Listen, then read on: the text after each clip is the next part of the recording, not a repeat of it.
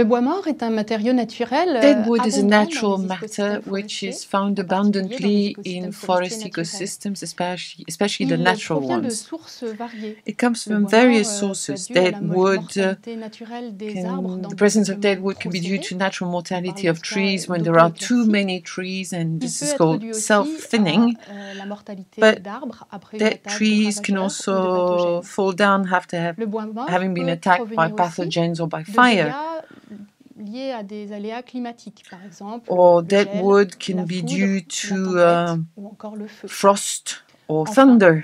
La sénescence, Finally, le vieillissement naturel des arbres, trees age naturally, and therefore some branches may die and fall, and maybe it's the whole tree that falls down.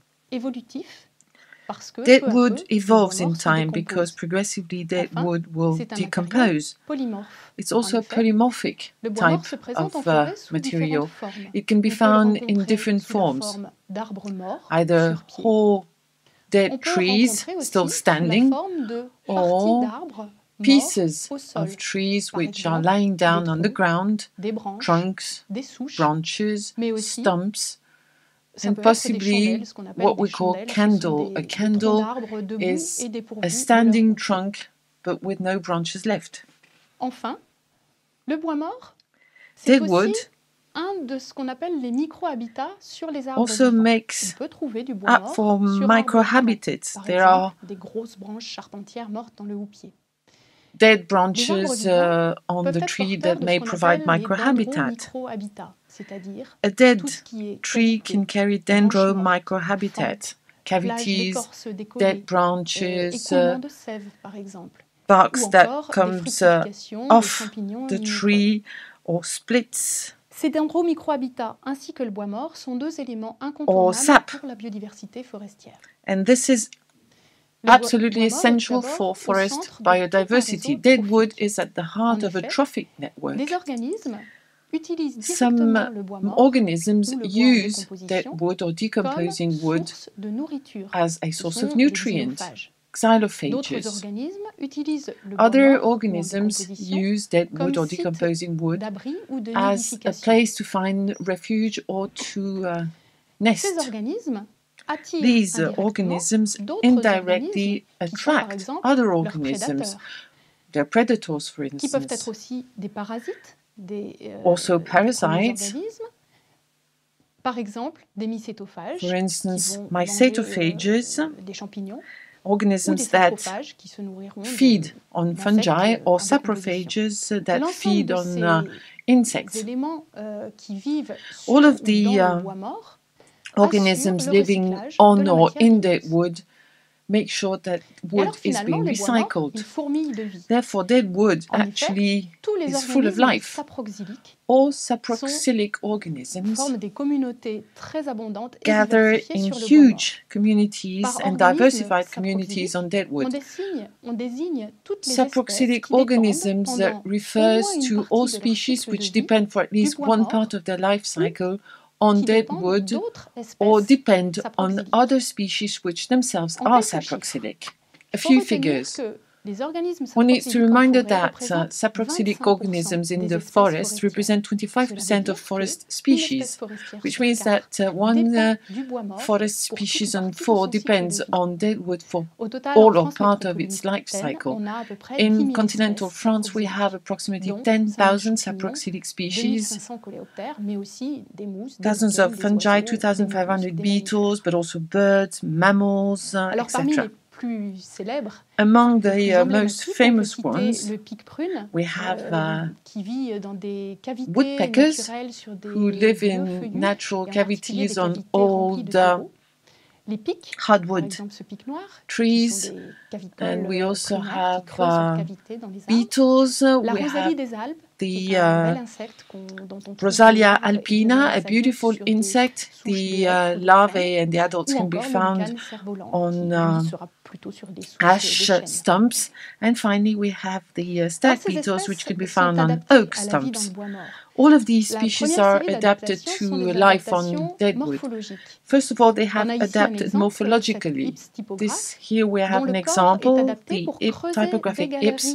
dans le The body is adapted to dig in wood and euh, evacuate the il faut notamment un casque debris. sur la tête, We see that euh, they have a sort of uh, helmet on the head. They have a long body de creuser les and brushes uh, at the front to dig galleries. The second type of morphologic uh, subcylindrique adaptation is the subcylindrical euh, long body espèces qui sont of some uh, species uh, which are adapted to travel through sont soit les galleries which have euh, been previously dug by other d'autres espèces ont un organisms on which they feed or with which they live.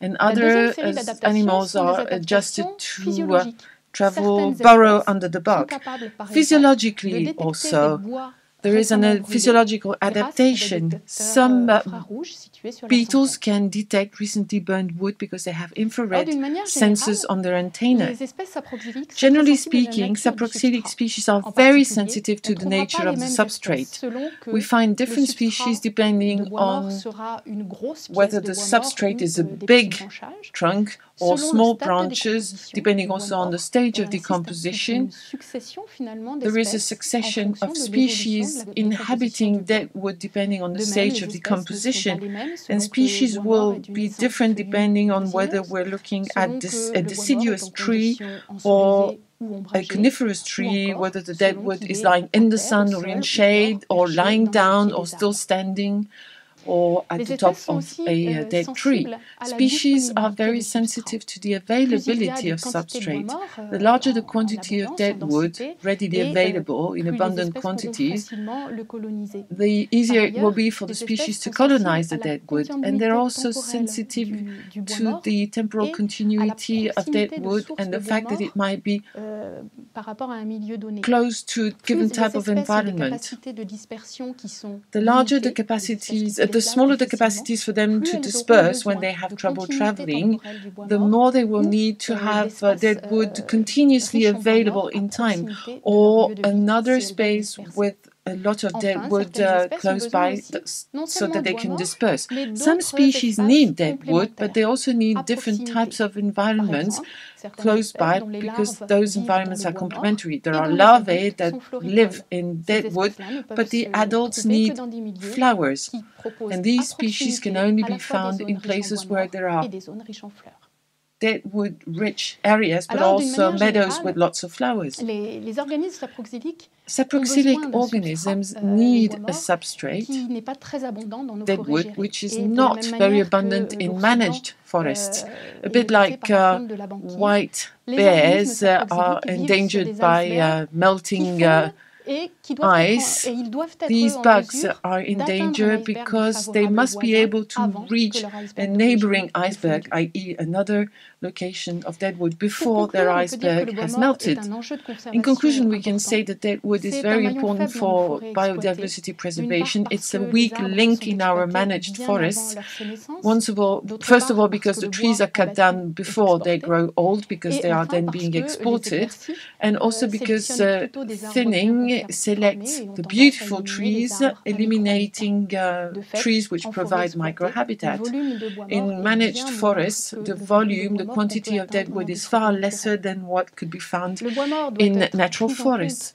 Dead wood must be taken in cible de gestion consideration in forestry management as a grands types de target for biodiversity preservation. exploitée, il est conseillé First of all, in managed maintenir le bois forests, it is advised to euh, leave some dead wood on the ground in large quantities, with also islands of uh, old wood which are regularly dispersed on the territory so that the uh, species may disperse from one to another. It is also recommended to euh, organize protected areas where no trees are cut down, the forest is not managed, euh, integral reserves of sont um, surfaces variables, soit ce sont des îlots variable de bois mort, areas, sometimes just a few vieux bois de hectares of dead wood, hectares, soit il or s'agit full de whole réserves of more than vont 100 hectares.